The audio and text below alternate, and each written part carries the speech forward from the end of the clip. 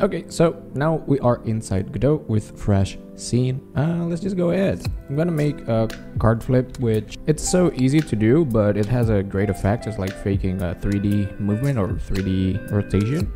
So I think just call it card flip 2 because I already made another one.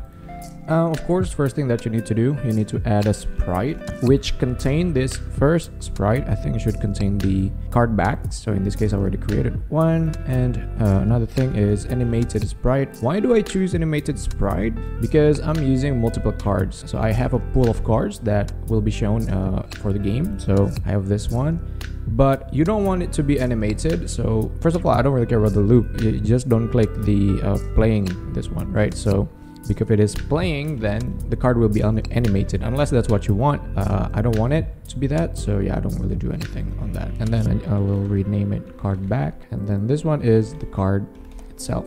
Let's add animation which is gonna be the core of this trick or this method what do you call this one? Uh, the, the, method, the trick. So I'm just gonna call the animation card flip. Create new animation right? And then click new animation made it uh, into card flip. Now let's go to the card itself. As you can see actually the um, the card is the first thing that need to be shown is the card back so how can we do that? Just go to the card nodes and then go to the z index and set it to minus one because when the z index is negative it's it become uh, lower in the render priority. On the card back let's just um, animate the scale. When you click the card back and then you just click on the animation over here it will give you an, another option which is uh, a keyframe. So in this case card back. So you can click on the key icon over here and then it will bring up uh, what is the keyframe. It will put keyframe on uh, the animation. We just actually just try to manipulate the scale and then insert key and then I'm gonna set it to 0.1 so now it's turning like that. I'm gonna make it a little bit faster right? I think that looks good. As you might see actually the cards also animated because it becomes the child of the card back node because so you don't really need to animate both nodes to get the, the result that will be shown later. I needed to go back to uh, 1, the X scale. So I'm just to duplicate that one.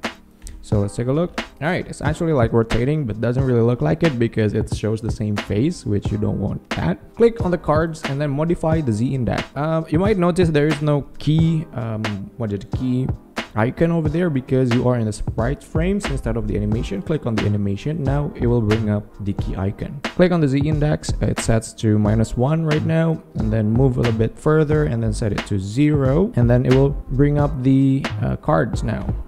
All right. Looks good. Well doesn't look that good. Well uh, maybe just put it a little bit oh yeah you can turn off the snapping over here if you want it to be precise. I, I think i want to set it to uh, 0.01 right? So it doesn't really show when it flip well it's still shown when it flip I think I'm gonna make it in the same way. Something like that. Oh. Looks looks better. Another trick that you might uh, do is actually make the easing on the motion itself. You can set the uh, what is it? What is this called? The curve to animation curve into oh inter interpolation mode. Actually, it says the name of it. I'm stupid. I'm sorry. Interpolation mode to uh, to cubic, and then I usually make the first or initial movement is a little bit slower, and then it will stop also in slower manner. So it has the easing. Actually, it's over there, but right.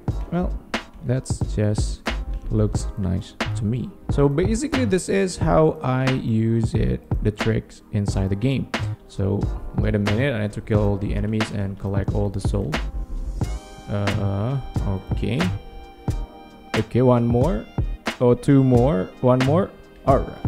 Oh, there you go. So I have this menu over here that shows the upgrades and when they popped up, they will uh, use the animation tricks that I've just showed you.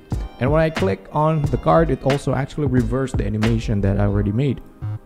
There you go and go back to the gameplay. That's just one way of using it. Maybe you can use it in your card game if you make a card game like Hearthstones or Legends of Runeterra or whatever card game that you play. So, well, that's it. Thank you so much for watching, guys. Don't forget to like and subscribe. Maybe, well, I don't really know uh, what to do. I'm a bad YouTuber. And if you want to support the channel, you can buy the game that I created. Link to the video trailer, it's actually on the description, and you can just see the description over there, and you can just download over there. Thank you so much for watching. My name is Sarvadangara, signing out. See you next time, and bye. Whoa, whoa. Alright, I'm just gonna keep playing it, you know, I think.